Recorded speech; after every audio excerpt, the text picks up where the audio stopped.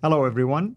This is Al Fadi, and I want to welcome you back to another episode of this fascinating series about the Aramaic Quran.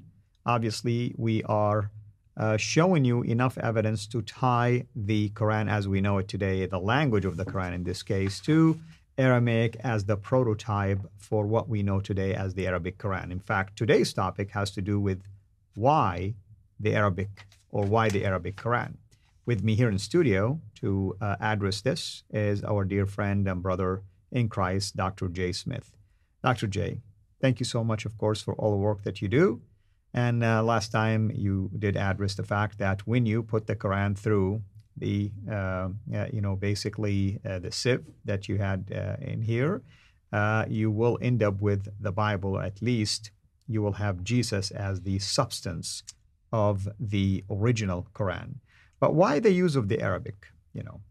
Well, as you're sifting through, and we are sin sifted, the standard Islamic narrative, we're sifting it through, trying to find out what was there at the very beginning. And what we found was the Bible was there at the very beginning. When we sifted it through, we found that Jesus was there at the very beginning. But here are some curiosities. As you look at the Quran, it really underlines what we're saying here.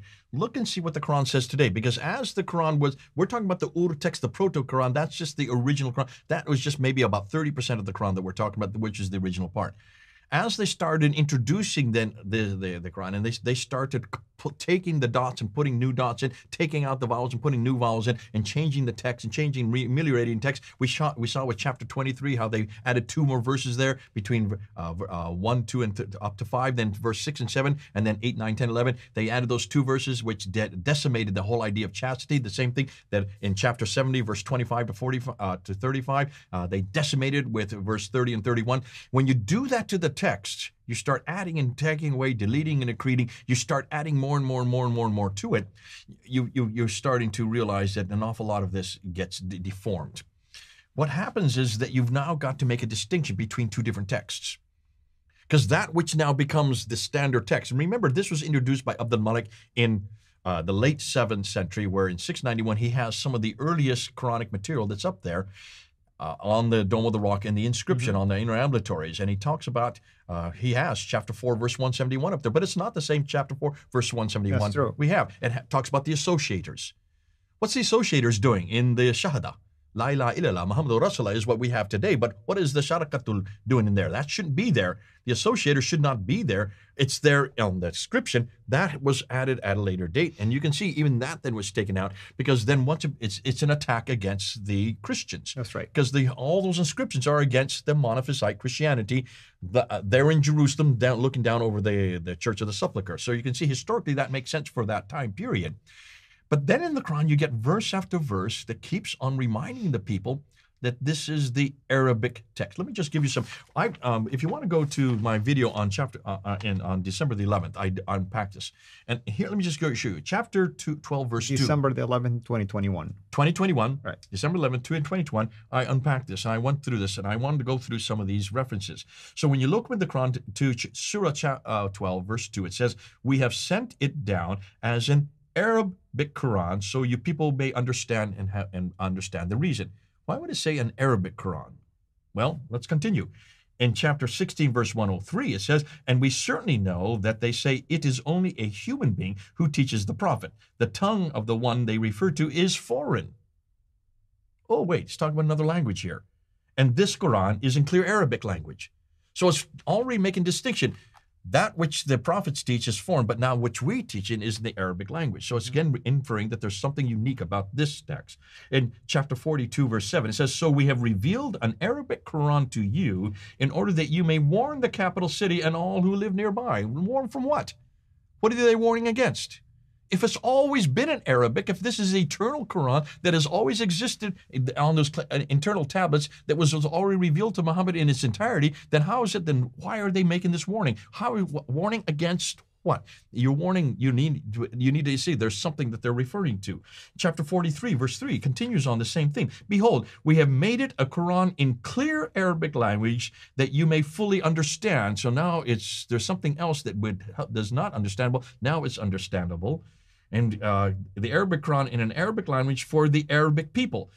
And uh, oh, I'm sorry, continue on. Why do we need Um, this is chapter 44, verse 58. We have made the Quran easy in your language so that they may take heed. Why do we need an Arabic Quran in the Arabic language for the Arabic people? Well, chapter 41, verse 44 is the answer. And here is where you really need to zero in on. Now, according to chapter 41, if we may have made it a Quran in a non Arabic tongue, they would surely have said, Why is it that its verses have not been made clear? Why? A foreign tongue? By an Arab? Mm-hmm. Say, for those who accept it, this is guidance and medicine for a wholesome life. But as for those who do not believe that the Arabs or the non Arabs, in their ears is deafness, and so it remains obscure to them. They are like people who are called to them afar. So, what's going on here? What's going on here? It's whole, this whole idea is that these phrases in the Quran were making distinction between the Arabic Quran and something other which was earlier and was not in Arabic but was in a foreign language. So you can see it's pretty clear. It's referring to an earlier text in a foreign tongue that is not made clear. To understand this, what I intimated a number a number of episodes ago. Back in the seventh century, you had the Aramaic, which is liturgical language. And then you had the Arabic, which was layman's term uh, language, which was used by the working class people. And the working class people did not speak Aramaic that well. Some of them did, but many of them did not because it was a academic language. It's for the educated. And so they were down here, and now this Quran is being made into their language, and now they're saying they're warning about that earlier one, that one that's come before, that one that is in a foreign tongue, uh, that is not very clear. But this is clear to you. This is clear to you. That's right. Now it's clear to you why? Because this is an Arabic language for the Arabic people in your text, is what it's saying. That would only make sense if there had been something earlier that was not Arabic. Mm-hmm. In this case, the Aramaic. That's why now you can see even the Quran shows from where and who it's for. It's for those who speak Arabic. It's those who do no longer are part of that liturgical circle because those liturgical Aramaic, those are the Christians. It's making distinction between the foreign tongue of the Christians and now the, the language of the Arabs. Remember, Islam, the word had not yet been introduced. Muslim, the people, have not been introduced yet. That's why there's no thinking about Christians and Muslim because this was too early. That was only introduced around 730. Can you then understand when you look at the historical context, this now makes sense. Be careful of that language. Be careful of those texts. Now let's get it in a clear text for the Arabic people in the Arabic language, in your language. Your language, meaning the Arab people. And who do you think um, was behind doing this, for instance? Is it a uh, maybe the Arabs uh, when they borrowed all of this? They began to attack the fact that this is not foreign because people were noticing there is some foreign language in there and they wanted to justify that it's actually done in Arabic and they had to really reinterpret things or, or reread it differently? Well, obviously, this is happening much later. This is happening in the 8th century. So these are much later. Remember, uh, we have said this over and over again. The Ur Quran, the archetypal Quran, that, that which comes from this book, was in, from the 7th century. Once they started pulling this out and started bastardizing and adding different and creating and deleting and changing it, they then started adding an awful lot of more stories to it. Some of it was borrowed from other sources, but some of it was also about the man himself, the person that mm-hmm. starts to be introduced. And, and that's why you only have four references to him. But once that happens, then you start also have to start to give him a place. That's why chapter 33, if you look at chapter 33, is all about the wives of this person and all the relationship. That had to been added at a later date, now that the man was made. But then at some point, this had to be stopped and canonized. Once it got canonized, once it got the final text, and I think it was about the mid 8th century, about the time the Topkapi comes into being, about 749, mid 8th century. That's when the canonization happens. From that time on, they cannot change the text because now it's all over, all over that part of the world. From that point on, then they then had to they introduce who this man was and who this person was, and also what the stories behind him. Can you then understand then why the stories about the man supposedly in this book, who's only named four times? That takes another 70 years for them to create, right. and that was done in 833 with Ibn Hisham. But then you need to have, once you got the stories of the person who this book is supposedly about, you then have to give them a lot of sayings. You've got to have a lot of references to him. That takes another 40 years. So you're talking about 110 years later before that is introduced by Al-Bukhari. Remember what al-Bukhari, and this is very, it's right, I mean, it's right there. We know this about this. Al-Bukhari was given 660,000 sorry, 600,000 of these 660,000 actually. 600 okay i've been told 600000 you've been told 660000 how much did he what does he do with this and where did this 600000 come from? Well this is all the earlier references that are coming through the umayyad period. So there's reams and reams and reams about everything that was happening going on during this 120 years that we're going to try to uncover. And by the time al-Bukhari is given this in the late 9th century he then whittles away throws away 98% of it and only retains 2% 7397 from 660,000 down to 7,397. Where in the world and what happened to that 98%? Well, that 98% is what we want to look at. It's all been destroyed. Why do you think it was destroyed? Because that is what was going on in the intervening 120 years. And is that material that I would suggest is where we would find the original text, is where we would find the original story, and how they had to be changed and ameliorated and che- deleted and accreted. It took them uh, up till the late 9th century before that was finally canonized. Once they did that, then they had to go and start unpacking this book because this book is full of contradictions. This book is full of these mysterious material that no one understood. So that's why the Tafsir only gets introduced in 923. That's the 10th century. So by the 10th century, when they get this introduced by Al-Tabari, look and see what Al-Tabari does. He gives you everything. He gives you all kinds of contradictory stories. He's the first one to do this.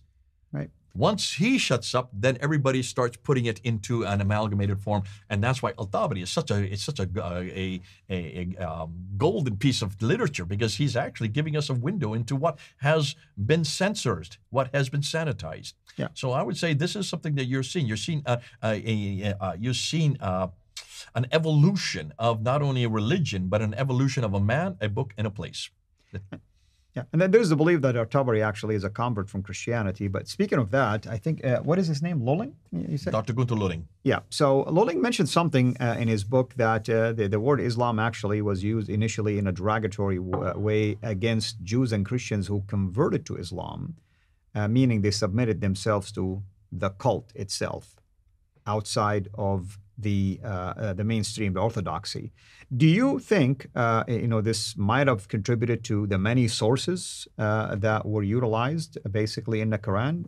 Them bringing their knowledge with them, bringing these hymnals with them, and now that they're part of a new movement or a cult, for instance, they are feeding into the content of this new book. Yeah, I would suggest so, but there's also something else that we need to be careful of, and we and we're realizing if Abdul Malik, and you need to start with Abdul Malik. Abdul Malik is the one who actually is the first to introduce this idea of an Arabic people for an Arabic place, an Arabic Quran.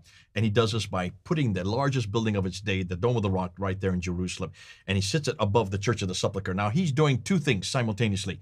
He is not only putting and making a political statement, he's making a theological statement because he's an Arian.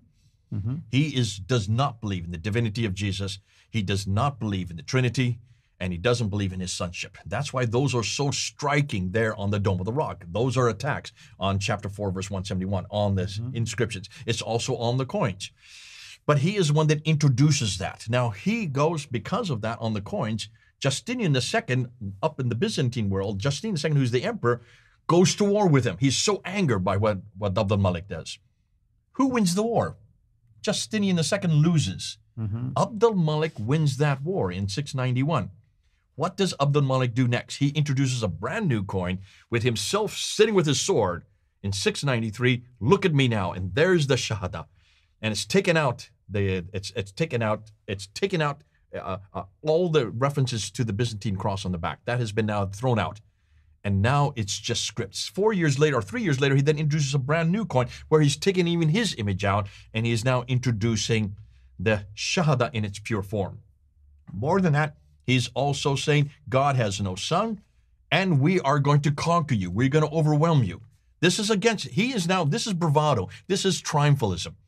This is now the now the new man on the block. He now controls all that swallow land. And this is a thumb your nose at Justinian. He has built the building, uh, the building that in 691 that now sits right there where the Jews was the holiest place for the Jews. This was the, the temple of David. This is the Holy of Holies. This is where the original Kaaba was. Kaaba is also Hebrew, means the square. It is where Mount Moriah was. It's where Marwa and Safa were. It's where everything was, right there. And he builds this greatest building that's still there today. Now, once he has done that, he's got a problem.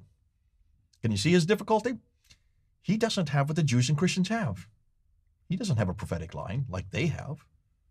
He doesn't have a revelation like they have. The two thing he needs more than anything else is a prophetic line. And remember, he is from an Ishmaelite. He comes from Merv. Merv is way up in Turkmenistan. Mm-hmm. Marwan, that's the name. The Marwan are the people from Merv. He comes from way up there. And they do not have a prophetic line like the Jews and the Christians. And yet the Jews and the Christians have a scripture that they don't have. So you've got to do something. You've got to provide a, a, a scripture and you've got to provide a prophetic line. So they already are from the line of Ishmael. So they've got to have a prophet that's in that line. Well, there are no prophets from Ishmael. There's nothing there. See if you can find where his lineage is. Who are the prophets? Show me one prophet that's from Ishmael in this book.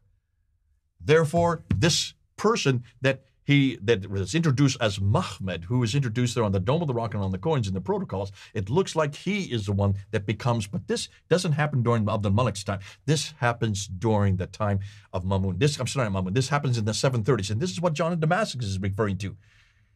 Who is this? This is a heresy you're talking about. Right. And he has a whole book against the heresies. This is a Christian heresy. So this is a Christian heresy against Byzantine monophysitism. And what's fascinating is at this time that they have to create their own book. So that's why, what do you do when you have to create a book? Well, you borrow everything you can. You borrow right, left, and center. And that's why you are, you're borrowing all these lectionaries, you're borrowing these homilies, you're borrowing these beautiful hymns, and you're borrowing these Jewish apocryphal writings, you're borrowing Gnostic writings, you're also borrowing Persian writings, and you're also borrowing Buddhist writings. There's all kinds of amelioration in there. And as you're borrowing them, you're putting them into Arabic and you're bastardizing it by different putting the darakas where you want to, so it all comes to one theme. That's why the Quran is so confusing. That's why there's no chronology. That's why there's no, you look at it, it goes all over the place. Story don't begin, stories don't end. They get slapped in the middle of another story. There's contradiction after contradiction. Take a look at all the Greek, the Greek stories that are in there. Enormous stuff you can see why they borrowed right, left, and center. That's why it is one of the worst books when it comes to its its cogency. It doesn't have any cogency. Well, that's what you would expect when it's done rather hurriedly. And that's why it takes them so long to finally make sense of it all. That all happens in the 10th century. So it looks like what we're seeing is an evolution of a man who starts a a cult. It is a cult. This is why everybody looked at them as a cult. And but he won the battle. So now he is trying to get an identity. If you're trying to get an identity, you've got to have a book and a man. Right. And once you have the book and the man, then you have to have the place. Amen. So when was the place introduced? Well, that takes place in the 8th century. Ooh, it all fits to a place. It all fits to a piece. That we're going to conclude with. Amen. Thank you so much. Thank you, everyone. Next time, we will give you the conclusion of this entire video series. Hopefully, you've enjoyed it. Make sure to share it with others Make sure you invite our Muslim friends to watch it. Make sure you get a hold of these books that we have uh, recommended to you. And make sure you interact with us as well. Until next time, have a blessed day. Thank you for watching this video. Be sure to like and subscribe to our channel, CIRA International, and click on the bell so that you receive notifications whenever we publish a new video or go live. I would also like to appeal to you to consider becoming a Patreon patron by clicking the link right below. By doing so, you can give towards the production of these videos. There are also other options for you where you can give to our channel. I thank you from the bottom of my heart.